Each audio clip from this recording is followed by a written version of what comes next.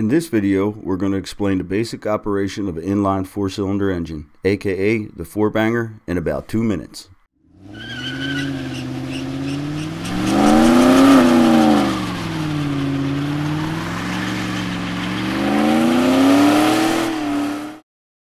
The inline four-cylinder is an extremely popular engine these days. It's compact, reliable, and produces a lot of power for its size. At the top of the engine is the cylinder head. This contains the intake and exhaust valves, also the spark plug. The engine block contains the piston, connecting rod, and crankshaft. The piston is machined to fit perfectly inside of the cylinder.